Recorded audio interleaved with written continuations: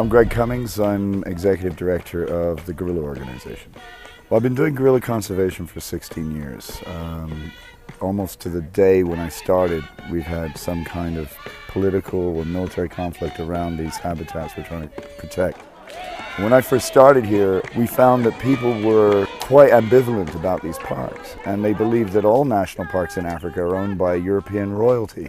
That's how much of a gap there was between their day to day lives and our cause and interest. And so our projects have always been designed to partner with local organizations. That, coupled with the fact that some of the most densely populated communities in Africa are also situated around these habitats, led us to look for a more holistic approach that was going to take those problems into consideration. So, in order to keep the, the, the whole thing focused on what we needed to do, as in protecting gorillas and protecting those habitats, we looked at the biggest threats to those habitats and considered what kind of projects we could do to tackle them. So, for instance, we found that collecting water was a, a, a major threat to the gorillas. Children were in the forest early in the morning uh, and learned that there was this disadvantage that the children were not getting to school. They were, their, their grades were, were lower. They, they, they, they weren't getting the same kind of results as if they were in school the whole time. The money to build the system is fundraised by the Gorilla Organization. We give the money to our local partner called Arasi. Then Arasi employs local people to build the system. Right now, we have been able to build 33 systems, and we are planning to build more for this year. We have set up education, an environment education project. With this project, we have been able to set up 356 environment clubs within all schools around the volcanoes area. Among sustainable activities we have started, including these school gardens. These are onions, those are cabbages. They've been able to buy a, a VCR and a, a screen, video screen. So from this harvest, you see, this is uh, something very positive. Okay, these people are called marginalized people. In a partnership with a local NGO called AIMPO, we have launched a social integration program. We are trying to give hope to these people. See, it's like other indigenous communities globally where people are not recognized. People are, are being denied access. There is no access for education, there is no access for medical uh, assistance. Even within the societies, they are not recognized. There is no identity for themselves. So what we are trying to do is, you know, to to bring them hope. You know, to bring back that hope by supporting them, by supporting their initiatives, by supporting their, you know, their activities, so that they can also be proud of themselves.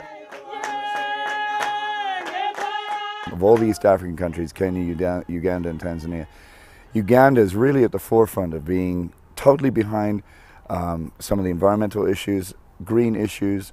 They're at the forefront of organic farming in this region. Um, it's one of the things that points of pride for this country. Our belief or our conviction is that not only do these projects address what is on the people's hearts, but they stand high chances of being sustainable and owned by the locals themselves. Uh, we also found that people were in there to set up beehives and collect honey. So we intend to move our farmers from the traditional way of beekeeping to the modern way of beekeeping so that the incomes at household level are increased, uh, thus improving the welfare of our farmers. The other project is the organic farming project. I train the extension workers who come down to the community to train these farmers in livestock management, composting, uh, fruit growing. We have 100 farmers. This lady has been just in training for only six months, but she has put in place what she has learned. Our plan is to continue training these farmers as they train others and until we go on international market, we shall not stop.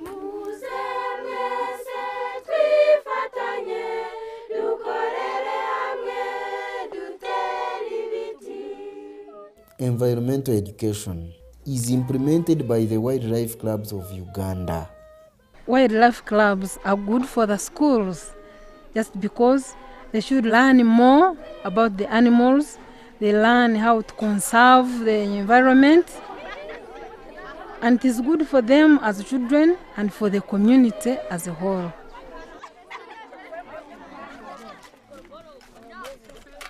So we took all these main threats and reasons for the encroachment and designed a program that would address each one of those and, and find ways to, at, you know, at best provide alternative livelihoods, um, but at very least make people aware of the impact they were having on these habitats and also aware of the value of the habitats remaining intact. A lot of people think that um, coming to visit the gorillas is, is a double-edged sword, that ecotourism is a double-edged sword, that once you let people into these areas of natural beauty, they'll ultimately destroy it. And that's not true. Um, uh, you take the, the gorilla tourism in Rwanda, for example, and it will only take 35 people a day can go in and see those gorillas.